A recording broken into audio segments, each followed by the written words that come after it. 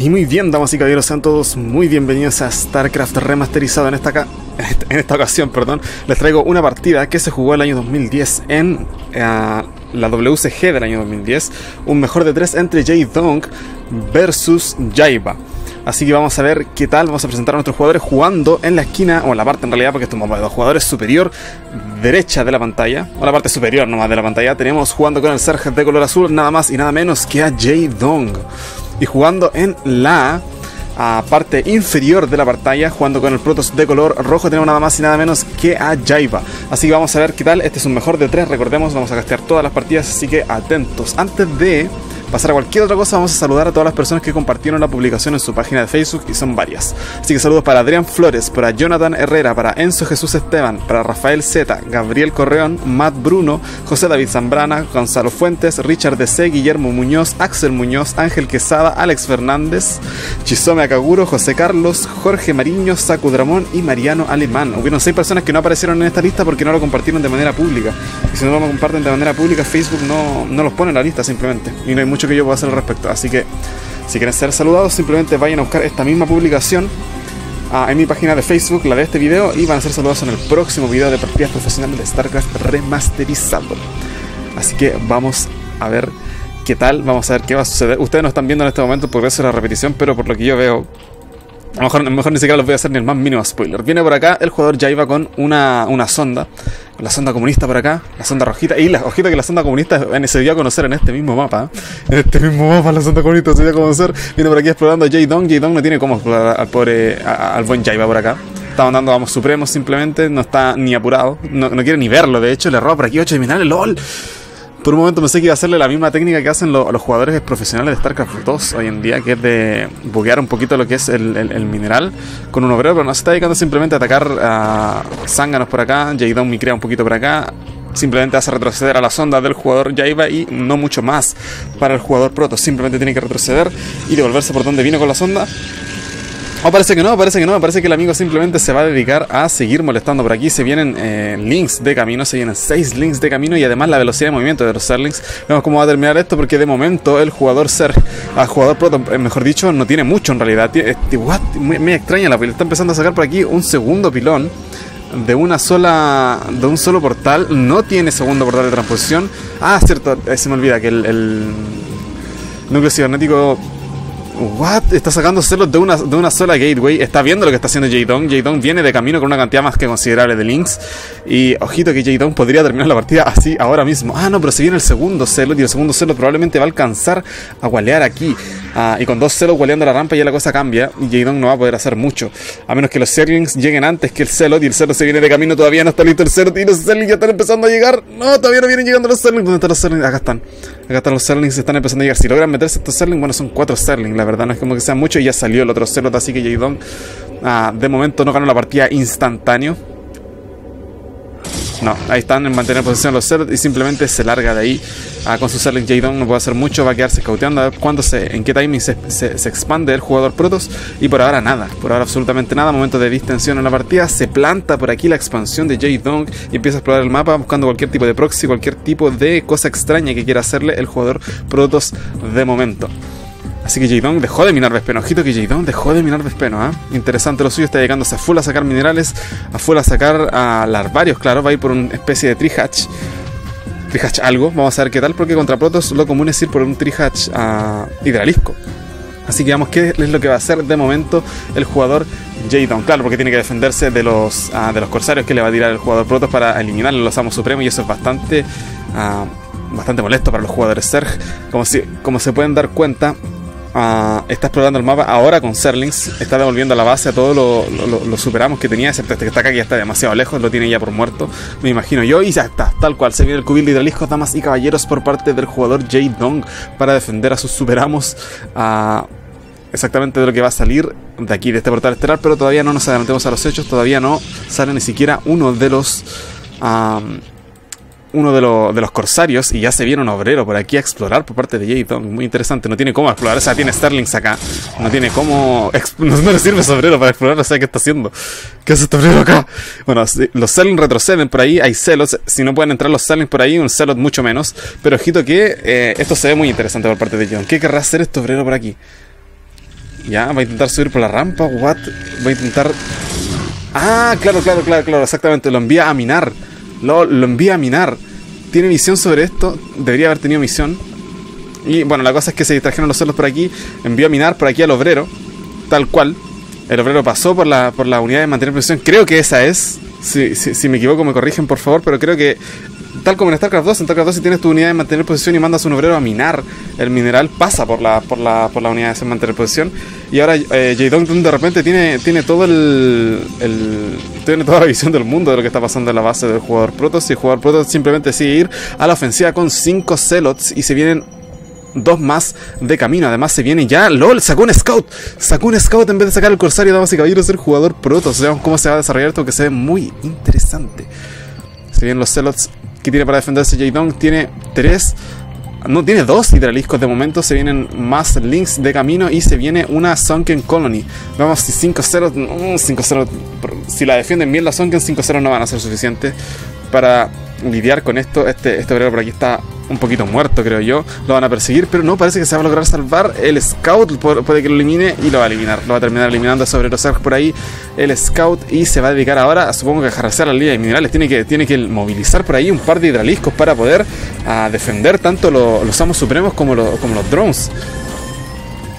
Y mientras tanto el jugador Protoss se puede expandir libremente de momento, pero tiene que defenderse esto todavía J-Dong. Así que vemos cómo lo va a hacer. Ya lleva una sola kill, ya dos kills, un obrero y un superamo. Y no, ahora el surround que le están haciendo los hidraliscos es demasiado grande. El jugador proto tiene que retroceder de ahí. Vamos si estos links son suficientes para acabar con los protos, con los celos que están por ahí. O simplemente van a hacerse los locos y pasar por el lado. Simplemente van a alargarse de ahí, tal parece. ¿Había cancelado la, velocidad de movimiento? creo que la había cancelado la velocidad de movimiento. Juraría que vi la velocidad de movimiento al principio de la partida y ahora está recién desarrollándose. Estos links son bastante lentos, pero aún así son más rápidos que los celos. Los celos retroceden y con esto Jake se libra de toda la presión que tenía, eh, la presión que tenía encima.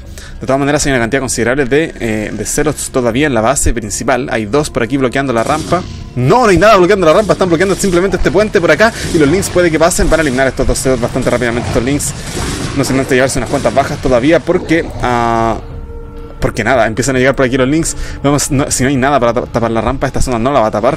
Y empiezan a llegar por aquí. Quieren desactivar lo que es el portal estelar, pero lamentablemente se hacen que no lo van a lograr hacer a tiempo. Así que tienen que simplemente buscar otro tipo de daño, quizás un daño económico, matar un par de sondas o algo.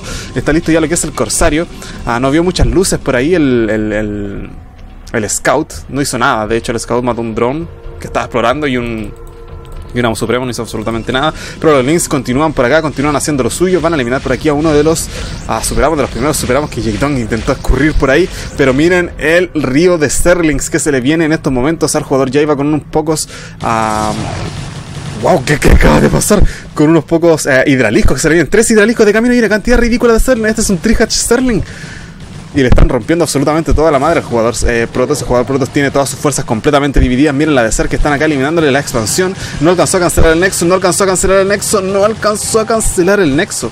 No, si lo cancela, vamos, tiene que cancelarlo todavía. De todas maneras, tiene mucha fuerza Sergio en la base. Tres celots para lidiar con esto es bastante poco. Hay una cantidad ridícula de links, hay hidraliscos, hay de todo. Y además tiene fuerzas para dividirlas y mandarlas a atacar por aquí. Y sigue construyendo como si nada. Por acá, este corsario va, a bloquear de, suministros al jugador eh, Serg. Pero creo que ya es un poquito demasiado tarde. La cantidad ridícula que, que hay de links es bastante grande. Vemos si con las zonas se puede hacer algo. Y la ayuda de los celots pero aún así hay, una, hay un solo, es que hay un solo portal de transposición, está saliendo un, templario oscuro por aquí, el templario oscuro podría ser la salvación del jugador Protoss, pero quizás ya es un poquito demasiado tarde, todavía tiene fuerzas por aquí J-Dong y sigue enviando links en grandes cantidades a la, base del jugador a Protoss. Salió, salió, salió el DT, el DT y va a empezar a llevarse unas cuantas kills.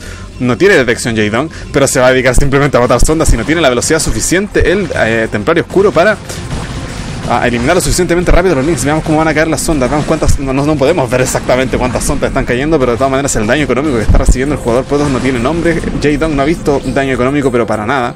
Ha estado matando por aquí a Amos Supremos, pero J-Dong tiene el dinero suficiente para continuar la producción de Amos Supremos y todo el ejército que continúa movilizándose a través del mapa, esta vez con el apoyo de Graliscos.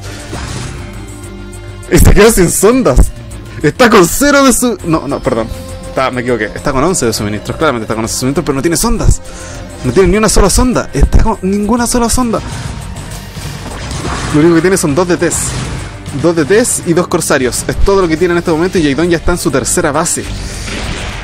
Bueno, damas y caballeros, creo que este es el fin. No, no, veo cómo podría. Bueno, de todas maneras, J-Dong también lo tiene difícil, pero todavía tiene fuerzas considerables como para eh, impedir que el jugador Protoss mine. No puede sacar ningún otro DT el jugador Protoss. Está sin energía. Uy, estaba a punto. LOL, miren esto. Estaba a punto de sacar el tercer DT y se queda sin energía. Quizás ese DT habría podido hacer la diferencia habría podido micrar un poquito más y resistir un poquito más, pero lamentablemente no fue suficiente y nos vamos a ver en la próxima partida de este mejor de tres. Y seguimos con la siguiente partida de este mejor de tres. La partida anterior fue una... Oh, de ver para los jugadores protos sobre todo en empezar con SDT, todavía no, todavía no me saco de la cabeza SDT, se quedó, pero a un segundo de salir SDT, quizás habría marcado la diferencia, quizás no, quizás ya estaba demasiado hundido juego, ya estaba demasiado hundido. Habría significado por lo menos unos 5 minutos más para el jugador Protoss en la partida, nada más. Estaba, estaba, estaba súper muerto el jugador, pero estaba completamente muerto. Seamos honestos, no tenía ni una sola sonda, no tenía expansión, tenía esos 3 DTs, y con esos 3 DTs podría haber hecho algo podría haber hecho algo porque estaba con Corsario eliminando absolutamente todo lo que le, tiraba. Todos los superamos, pero bueno. Lo dejamos ahí. Por acá tenemos nada más y nada menos que a Jaiba jugando con el Protoss de color Esmeralda. Y del otro lado del mapa, jugando con el Protoss de color verde musgo, tenemos nada más y nada menos que a J-Dong en este mapa que creo que se llama Tau Cross. Es un mapa de tres jugadores, medio extraño el mapa. Ah, algo desbalanceado también, ¿por qué no? Ah, y vemos que ya el jugador Protoss empieza a explorar el mapa y va en la dirección correcta, tal cual como Jay Dong también va en la dirección correcta con este Amo Supremo. Vemos qué va a pasar en esta partida. Esperemos que, esperemos que no sea como la anterior, que, no, que sea un poquito más nivelada quizás, porque seamos honestos, Jay Dong lo destruyó como quiso al pobre jugador Protoss. Así que hace no y el Protoss se desvía. Ah, no, pero por acá está la entrada, ¿cierto? Se me olvida que se, me olvida más o menos cómo va este mapa. Claro, todo esto está amurallado y la entrada va por acá. Iba a decir, no, va por la, para la otra base, pero no. No, no se equivocó, no se equivocó. Está listo ya el primer pilón por parte del jugador Protoss. Va a empezar a sacar su gateway en unos cuantos segundos más, apenas tenga los 150. Y al mismo tiempo va a empezar a llegar por aquí a explorar la base de J-Dong. Se encuentra por aquí con un obrero.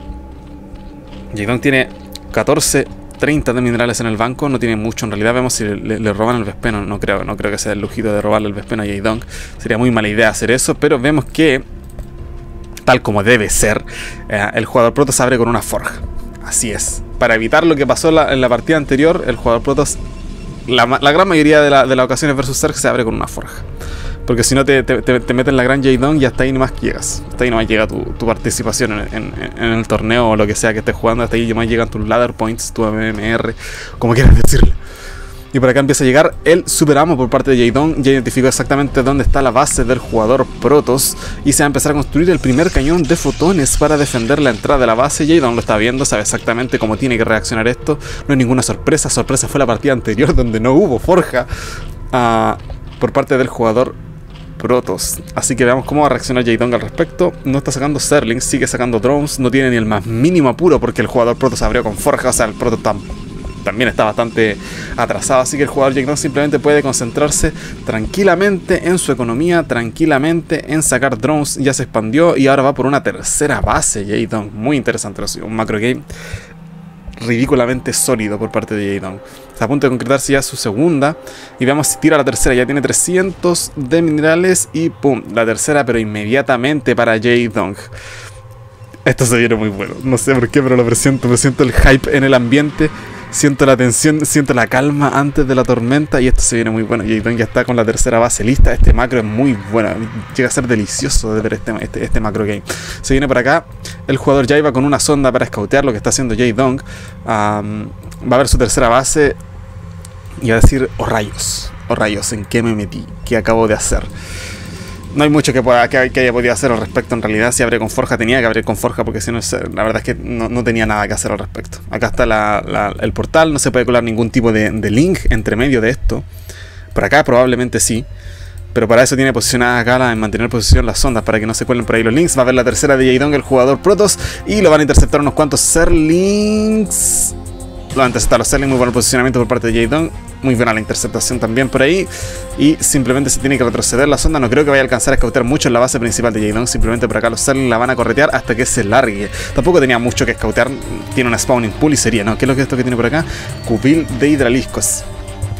Cubil de hidraliscos por parte del jugador Jadon. ¿Cómo está, ¿Cómo está el Protoss? De momento no tiene, lista no tiene ni lista su expansión y el Ser ya tiene tres bases. LOL. Ah, no tiene nada. El jugador pronto todavía ni siquiera tiene el núcleo cibernético listo. Y Jaydon ya está a punto de concretar lo que es el cubil de hidraliscos. LOL. No puede ser. Siento que esta partida se va a terminar muy pronto. Se va a terminar más pronto de lo que esperábamos. Uh, con el macro ridículamente sólido ya tiene listo el cubil de hidraliscos, empieza a desarrollar la velocidad de movimiento de los hidraliscos. Ah, se concretó por fin la, segunda base del jugador Protoss. El jugador Protoss tiene que jugar, pero literalmente con el culo contra la pared de momento y no, no hacer absolutamente nada. No puede hacer absolutamente nada más que dedicarse a defender con todo lo que tiene porque J-Dong ya, ya, está empezando a, tener una economía. Ya está, empezando a ya está empezando a tener una economía. Ya tiene tres bases.